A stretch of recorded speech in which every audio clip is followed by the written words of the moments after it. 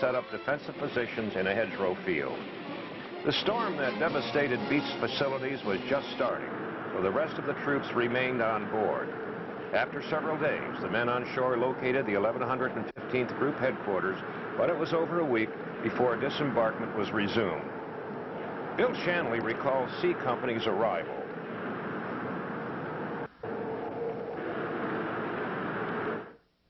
The only thing about the battalion history that I think can be corrected is that C Company did land D day plus four. And the other um, two platoons, besides the platoon I was in, I remember very vividly that we were looking for headquarters company. And we did not find headquarters. So we knew that we were there alone as far as the battalion. I do not know if A Company or B Company was with us, but I know that the entire company of C Company was there. And then uh, someone um, found us in bivouac belonging to the, the uh, corps that was running the 29th Division and gave us some assignments, road assignments. By July the 4th, the entire battalion was assembled in bivouac just south of the small village of Govan, about 13 miles from Omaha Beach. From the beginning, the bivouac area was subject to random artillery fire, so there was plenty of motivation to get that foxhole quick and deep.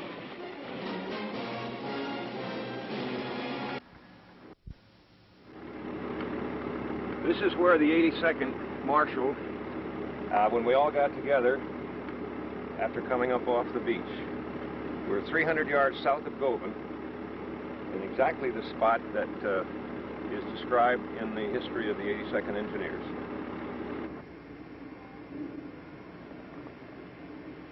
This is the area. I think you So it was a dirt road 50 years ago, but this is a small road that we traveled to our first uh,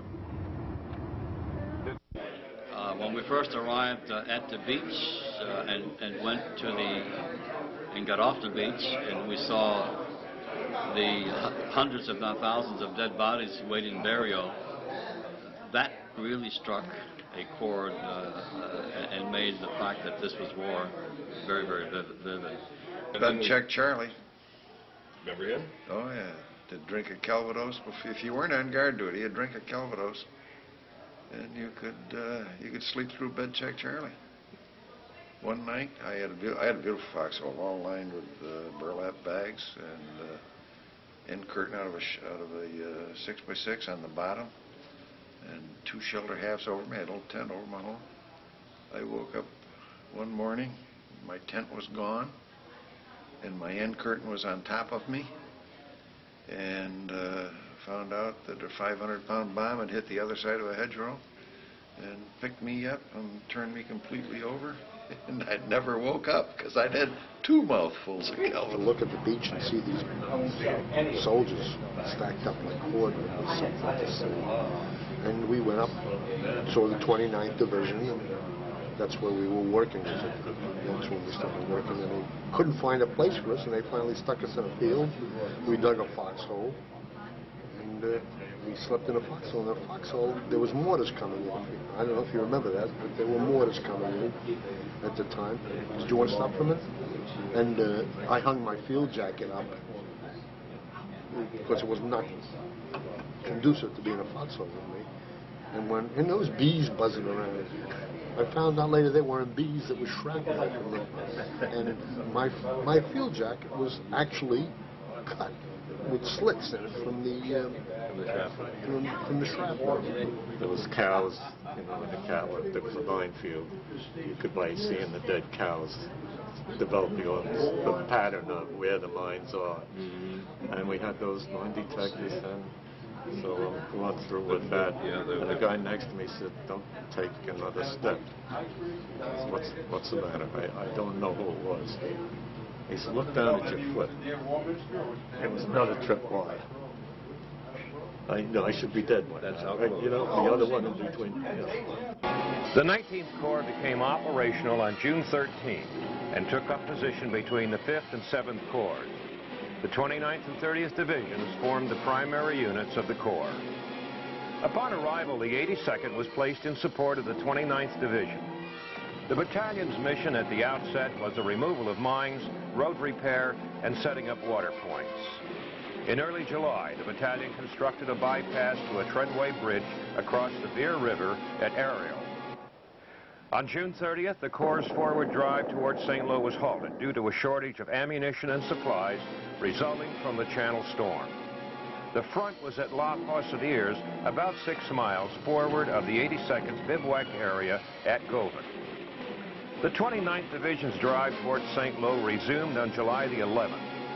On that day, the 82nd moved up to provide close support to the 29th Division frontline units just south of Couvains. The 1st Platoon of Company C was assigned to the division's 121st Engineers, and the 1st Platoon of Company B was dispatched to support the 116th Infantry. These units of the 82nd were now coming under intense mortar and artillery fire for the first time. Other units sweeping for mines and repairing damaged roads were being constantly harassed by German fire. On July the 15th, the 116th Regiment began its attack on the Martinville Ridge, from which German spotters could direct accurate and devastating fire.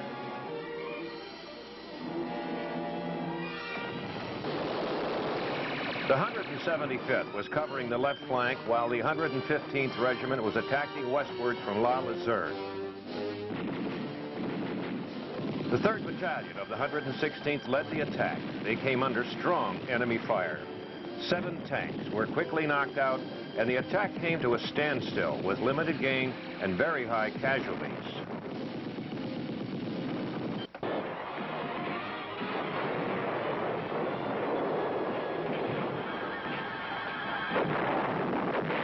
B Company's first platoon mission that morning was to blow the hedgerows with charges of TNT. A few days before, they made sharpened sticks to be fastened to the sides of the 50-pound boxes of TNT, which were to be planted against the hedgerow. It was apparent early on that explosives alone would not do the job, so tanks were fitted with sharp prongs, once properly placed, could tear open the hedgerow, and then complete the opening with explosives. The intense fire, however, prevented the effective use of armor that day. Yeah, I think we were supposed to be uh, infantry at the time, and, and we uh, we were supposed to clear out a hedgerow, blow out a hedgerow, and uh, let this uh, tanks go through. And uh, I don't know whether it was a tank or was a jeep or what it was, but uh, coming up the road, and, and we knew the lieutenant knew we were zeroed in, so he tried to direct him off the road. And when he did, it, the mortar shell come in and uh, got hit direct hit on, on Rico and killed him. And then uh, his buddy Pascoris, he, he must have went berserk because he picked up his rifle and come out of his foxhole and said, "I'll kill him and I'll kill him." And he got he got a mortar shell too. But I don't know whether he died. We moved into a hedgerow uh, field just before dawn, and we were ordered to dig in. It was comparatively quiet, the artillery and small arms in the distance, but nothing in our vicinity. At daybreak, however, we were still digging in when mortars and artillery began to rain in. And I remember flattening myself against my foxhole, which was long enough for my body, but only about 18 inches deep. The fire was intense and it continued most of the morning. Each barrage would have a dozen or more shells, and I could hear the shrapnel tearing into the trees and the bushes just over my head.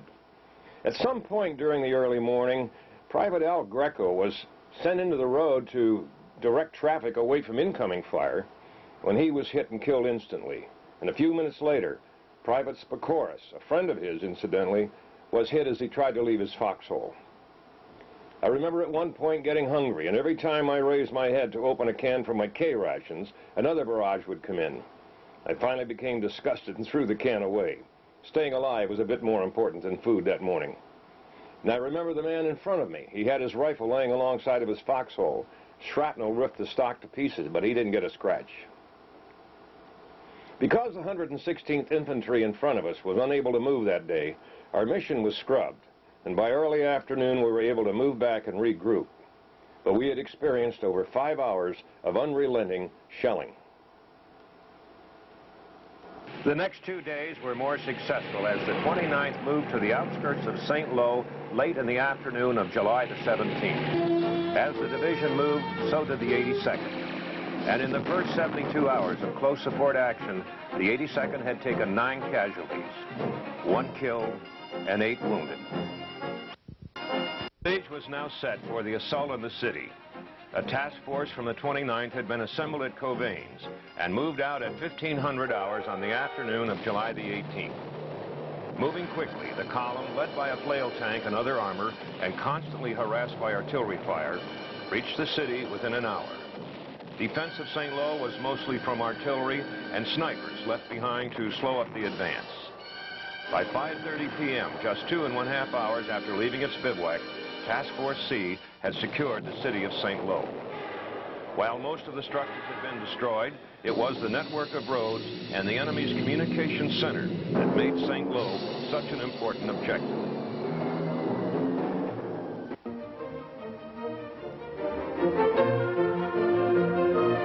After taking St. Lo, troops of the 29th moved into a rear area rest center, their first break since D-Day.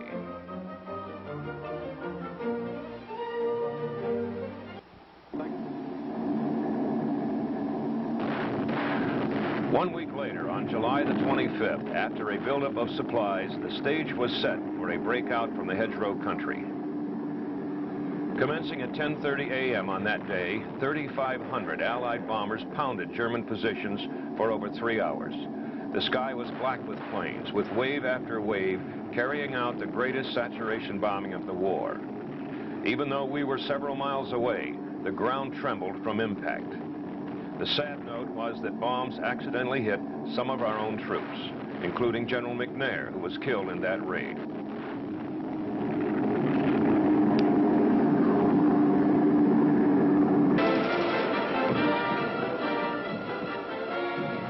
Three days later, on July the 27th, the 29th Division, rested and now completely motorized, was ordered back into the line.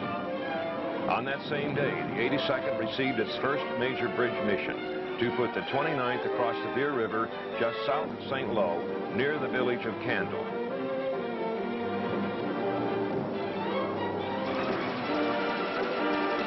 Shortly after midnight in the early morning of the 28th, battalion headquarters sent out two recon parties to identify potential bridge sites. Within the hour, B and C companies in separate convoys also moved out.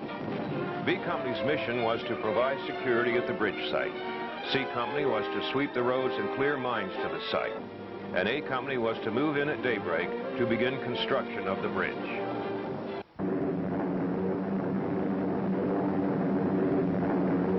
All units on the road that early morning came under a German air attack, during which Lieutenant Gruett, leading one of the recon parties, was wounded.